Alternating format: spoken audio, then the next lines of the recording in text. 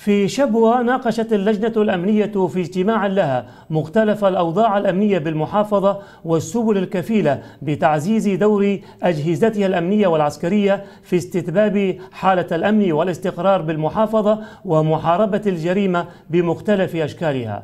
وأشادت اللجنة بالنجاحات المحققة على صعيد محاربة جرائم المخدرات وضبط العديد من الشبكات والأفراد المتورطين فيها. مشددة على ضرورة مواصلة جهود مكافحتها وضرب أوكارها وحماية المجتمع من شرورها وضرورة الحفاظ على النظام والقانون ومواصلة حملات منع السلاح في مديرية عتق.